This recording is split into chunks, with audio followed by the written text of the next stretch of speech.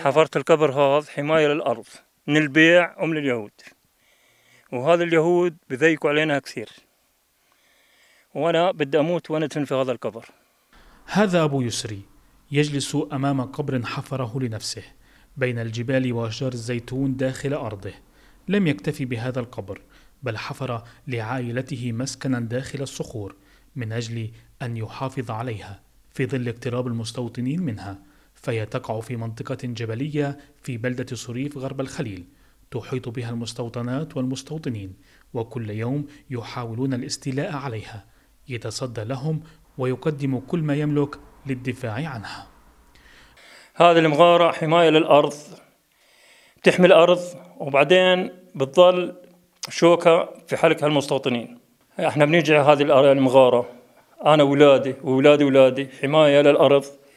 وبنتنزه فيها وبننام فيها وبنقعد فيها.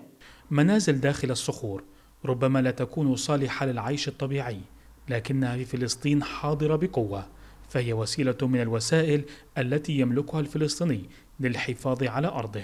تشكل نقطة يمكن منها الدفاع عن الأرض ورفض محاولات المستوطنين بالاستيلاء عليها.